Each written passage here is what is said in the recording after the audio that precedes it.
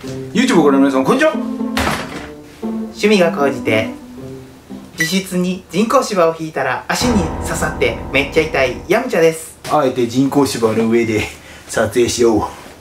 ガシンショータン。今回はですねサバゲー始めてみたいけどあんなに高い銃買えないよ。という方結構見えるのではないでしょうか。かくいう私もね新しい趣味を始めるときはねいつもねまずハマるかわかんないからあんまりハイスペックは買わないけど初心者だなって思われるのも嫌だからっていうねちょっとねあの見栄もあってちょっと高いのを買おうかどうしようか。それとも初心者におすすめの安いの買おうか迷うっていうのをねあのいつもそこでね悩んでます。そんな方も多いのではないでしょうか。まあ、そうやってねあれこれ悩むのが趣味のね最初の醍醐味っていうのもあるんですけど今回はですねそんな困ったさんに向けてあいつ初心者だなって舐められないどころかこやつできる。と思われつつも値段はお手頃に抑えた。そんなサバゲー装備をいろんなことを考えて揃えてますのでその辺りもね詳しく説明しながらご紹介していきたいと思います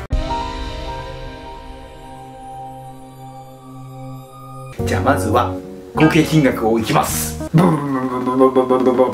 合計金額2万2000円です。実際サバゲー装備をね初心者が多分揃えるとなると銃本体でまあ3万円ぐらい。電池と充電器とあとマガジンとかもろもろでまあ1万円。4万円でしょ？ゴーグル手袋で。まあ大体5万円ぐらいですかね。すげえ安く最初に揃えて5万円ぐらい。それをねギュッとギュッとしておすすめのものをね取り揃えて最低限できるラインで今回は揃いました。そもそもねなぜこれをねあのご紹介するに至ったかというと今度ね初めての子をね連れていくことになりましてその子にちょっと僕の装備の中からあつらえてやろうってことでいい感じのものを揃えた結果あそういえばこんなのがあったなってことでいろいろ考えていくうちにこれはあの初心者で初めて買う装備としてもおすすめできるんじゃないかってことであの値段を抑えめにして今回は絞ったものができたのでね。ついでにご紹介しようという経緯です。もしねこの動画を見てる方が実際に揃えるとしてねいろいろ調べた上で多分この動画に行き着いたことでしょう。もし仮にね今後サバゲーやっぱ違うなって思ったとしてやめるとなったとしても2万2000円ならねまあ許せる範囲じゃないかなと思います。5万円とか6万円とか使っちゃうに比べたらねいいかなと思います、えー、さて今回のねパッケージなんですけども言うなればコンセプトとしてはサバゲーを始めていろいろ買い揃えて一周回ってシンプルに行き着いちゃったよって方をイメージして作っております。なのでまあいろいろ試していった結果要点は抑えつつバランスの取れた装備に行き着いてガチガチの軍装からちょっと楽しむ方向にシフトしたそんなクロートの方をイメージして作っております。とはいえねあの半年ぐらいでここに行き着く方も多分見えると思いますのであの例えばね動きが初心者なのにこの装備じゃおかしいじゃないっていう違和感もなくいい感じの塩梅のところを揃えております。いろいろ考えております。よしじゃあね早速ね、えー、紹介していきたいと思います。全部紹介しましょう。ゴーグルどこ行った？こん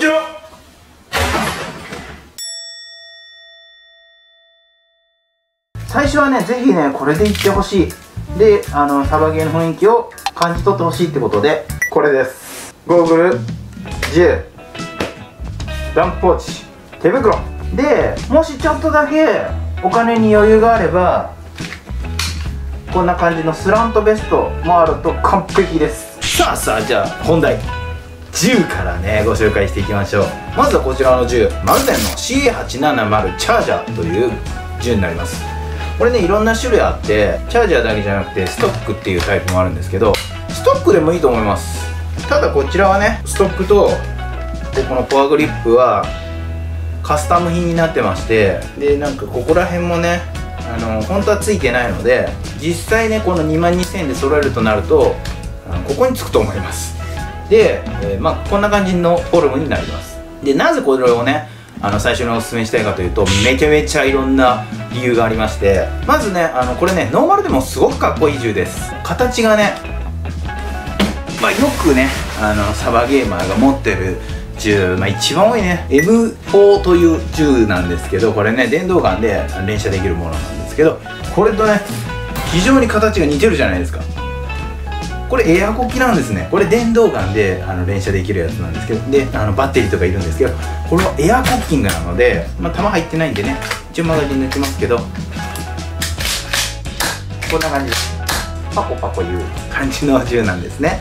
でみんなが持ってる M4 とフォルムが似てるのでまず浮かないということね安いのにフォルムが似てるから M4 に勝っても浮かないという点が1点で、えー、サバゲーにおいてねもちろん電動ガン面白いんですけどエアコキってねめちゃめちゃ楽しいんですねやっぱりエアコキのね戦いってねたとえ相手が電動ガンでもすげえ楽しいんですやっぱりなんだろうカチカチやって打つ感じがねすごい楽しくて遊び感がすごい出てて一番最初にサバゲーの雰囲気をね推し量るにはちょうどいいんじゃないかなっていうねあのもちろん向こうの方がうまいしで向こうの方が電動ガンだしこっちエアコキだからさらに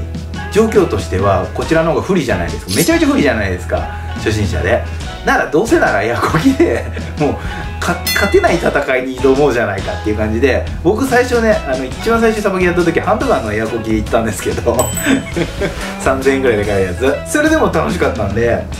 最初はやっぱね何やっても楽しいと思うんでエアコキで十分だと思います。でそれだけじゃなくてね電動ガンとの戦いになるのであの射撃の練習にもなるし撃たれるところから隠れる練習にもなるので最初にエアコキやっとくと電動ガンで戦った時も有利に戦えると思います。あとはね2個目やねこれ。マガジンですね。通常ねこの M4 のマガジンってねついたりつかなかったりしたり入るけどうまく使えないとか相性があったりあとね多段マガジンとかいろいろあったりしてあとマガジン自体もね3000円とか4000円とか結構値段が高いんですね。に比べて CA870 のマガジンはこれね700円から800円ぐらいで買えるんで34個揃えてもそんなに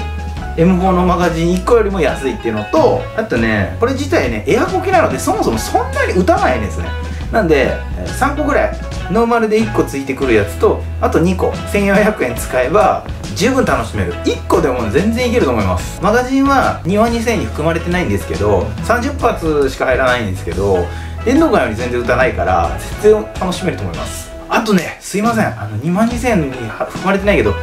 BB ローダーはいります。すいません。1000円ぐらいです。これだけ申し訳ない。これ手で込めれますけど一応。めちゃめちゃ面倒くさいと思うのでローダーはあった方がいいかもしれないですね。あとねあの初心者でこれもなしでポケットに入れれるっていうね。これ M4 のマガジンだと M4 のマガジンって1個こんくらいなんでポケットに1個しか入らないんですけどこれ3個ぐらい入るんでで後から説明します。このダンプポーチね。ポケにいっぱい入れといて空になったやつをダンプポーチに入れてでポッケから新しいやつをリロードするみたいなね。感じで使えるんで。リロードもねあのポッケ使えるっていうのはね大きいと思います。あの初心者の方はね特に面白いと思います。あと大きいマガジンだと結構なくしやすいんですけどこのちっちゃいマガジンね全然なくさないんでなんでかわかんないけどちっちゃい方がなくしそうなもんですけどこれ全然なくならないんでねこれもねあの初心者の方からしたらすごいいいことかなと思います。あとはねこれねいざハマりだした時サバゲーにねこの銃ね拡張性がものすごく高くてこれフォアグリップがねカスタム品なんですけど1個4000円ぐらいかな。あの入れ替えるとここにレールっていうものがついて 20mm レールっていうのはねこうやってフォアグリップをつけてコッキングしやすくしたりあとここにライトをつけたりとかね。でここもねメインレールをつける拡張パーツがあるんででここにスコープ乗せたりね。あとはストックもいろいろ変えれますしね。これ M4 用のストックなんでこれもいろいろ変えれます。でスコープ乗せてで内部カスタムもねこれね非常に簡単に分解ができて今ねこんくらいの音なんですけど内部カスタムするとねさらにちっちゃい音になったりねパワーアップできたりするんでね。あそちらもね詳しくは私の動画で紹介してますので昔の動画を参考にしていただければ嬉しいんですが そんなこともできて、えー、カスタムベースにも使えるんでめちゃめちゃこれ1本で遊べるっていうね。非常におすすめなんですよ。またねハマってエアコキでちょっと物足りないな電動ガン売ってみたいなってなって電動ガン行きます。でまあバンバンバンバン遊んでサバゲーマーとして成長してって慣れてきちゃって電動ガンじゃ物足りなくなった時に一周回って本当にクロートサバゲーマンになった時にここに戻ってこれるっていう意味でそういった面でもねいい銃じゃないかなと思います。また、えー、サバゲーというものではですねフィールドでは発砲していいんですけどフィールド以外で誤って発砲してしまうとめちゃめちゃ怒られるんですね。もう本当に大人になってこんな怒られるんかってぐらい怒られるしあの店員さんにね。周りからの目がすげえ冷たいんですよ。間違ってバンって打っちゃうとね。もうその瞬間白い目で見られて。でね初心者の方にあの経験をしてほしくない。正直。というね私のね老婆心もありまして。めっちゃねなんかすっごい嫌な気分になっちゃうんですよ。初心者であれはちょっと経験したら多分やめちゃうと思うんですね一回。でせっかく楽しいサバゲーができるチャンスがあるのにあれのせいで嫌な気持ちになってやめちゃうのはすごいもったいないのでそれだけぜひ避けていただきたいんですけどしかしこのエアコキなら通常ね電動ガンだとフィールドから帰る時にマガジンを取ってフィールド出る前に2発ぐらい撃ってでチャンバーの中の弾をなくした状態にしてでこのセレクターっていうやつをセーフティーに入れてでトリガーを触らずに帰るっていう感じなんですね。エアコキでも一緒で、まあ、マガジンから抜いて2発ぐらい撃ってセーフティー入れるんですけど撃っちゃう原因としてはセーフティー入ってなくて鳥が間違えて触るか服に引っかかってバンって撃っちゃう。別に弾は出ないですよ。チャンバーの中2発撃って空にしてますしマガジンも入ってないけどパンって撃った時点で白い目で見られちゃうんですねこれ。ここをセーフにしてないがために。で結構引っかかることあるんで。これはね初心者ならしょうがないです本当に。ただねエアコキだったら仮にねセーフ入れてなくても鳥が引いてもねコッキングしてなきゃパンって言わないんですよ。この点がねあの初心者におすすめする絶対的な理由です。多分エアコキならねまず誤って打たないと思います。ということでまあその点でね是非おすすめしたい。はい。リスクヘッジをねどんどん心がけていこうじゃないかということでね。てな感じで私は C870 チャージャーもしくはストックをおすすめします。まあ、エアコキいろいろあるけどやっぱこれが一番当たるんでね。まあ全体的な評価でこれをおすすめします。M4 に似てるしね。ただ1点問題があるとすればこのマルゼンというあのメーカーなんですけど日本製なんですけど日本のおもちゃメーカーってねあのロットというものがあってあの一気に打ってしばらくお休みして一気に打ってって感じなんでこのマルゼンの銃は売ってない時ほんと手に入らないです。これだけは。申し訳ない。なんでねちょっとタイミングのいい時を見計らってもしくはねオークションなんかでね探してみるといいかと思います。大体最近はねこの丸善もね昔はねちょっと高騰してた時期もありましたけど値段がね通常1万4800円ぐらいなんですけど3万ぐらいで売りに出す転売ヤーとかいましたけど最近はね落ち着いてますので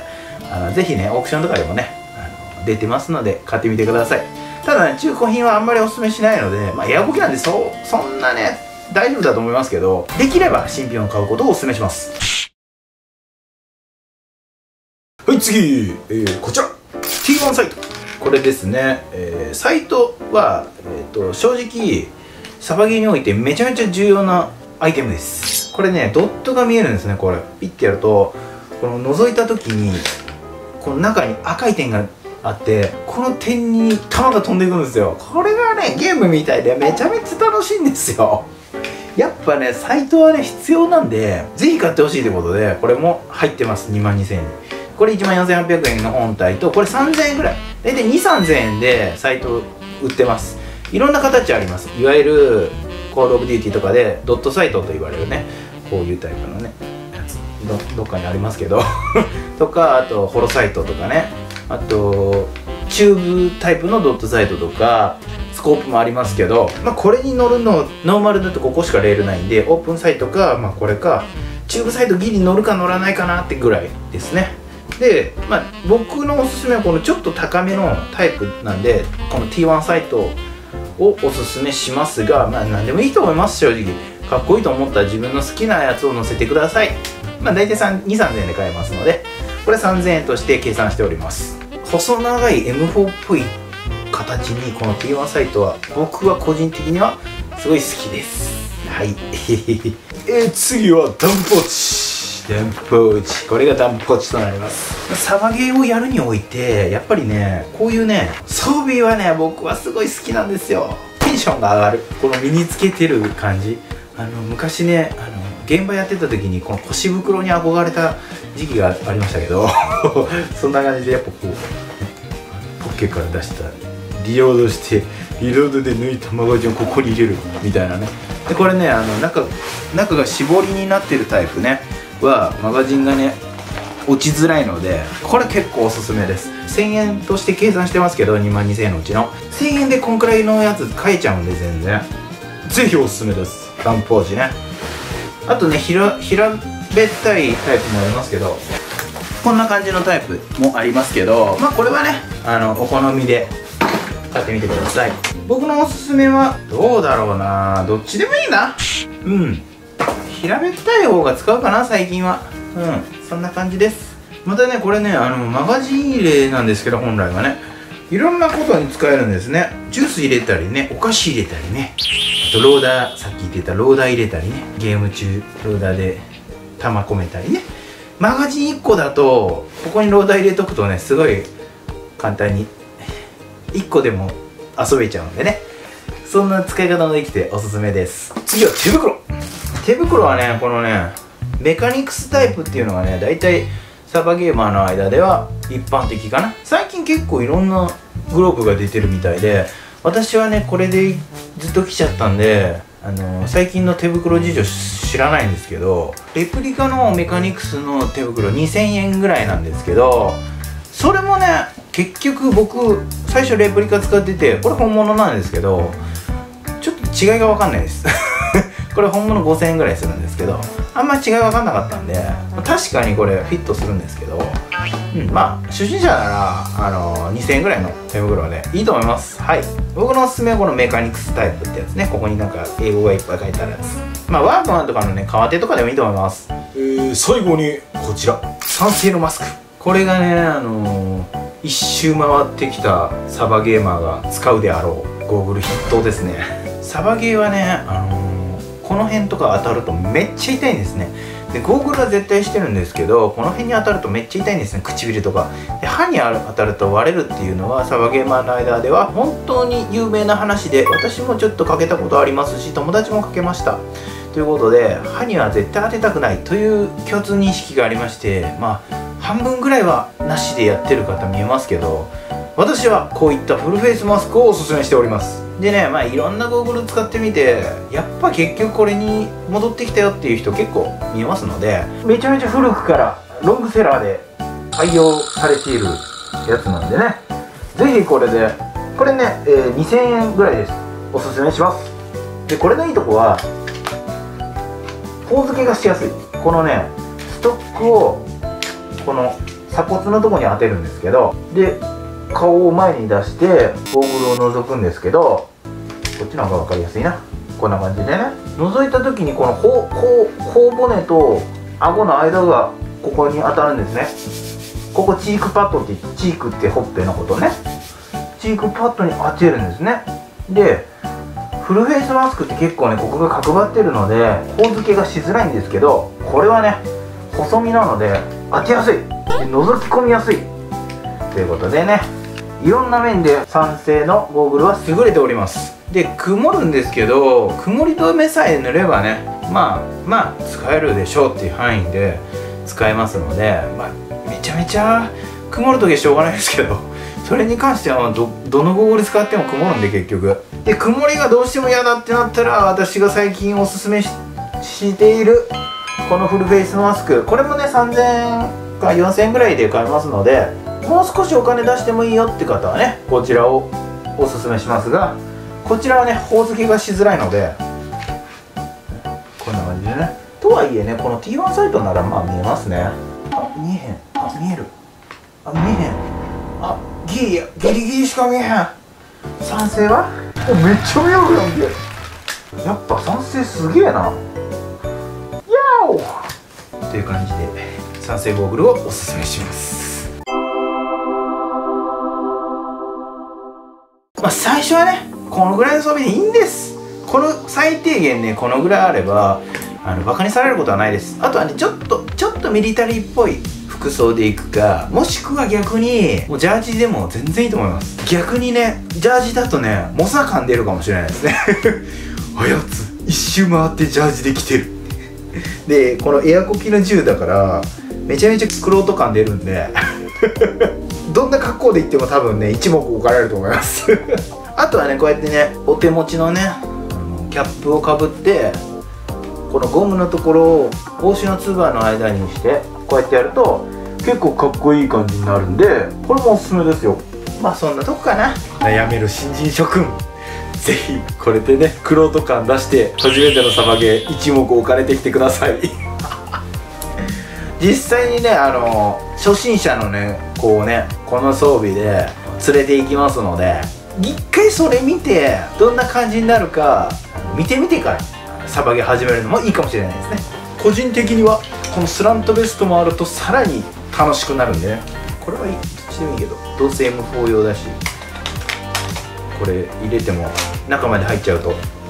と取り出しづらいから。まあどっちでもいいけどこれは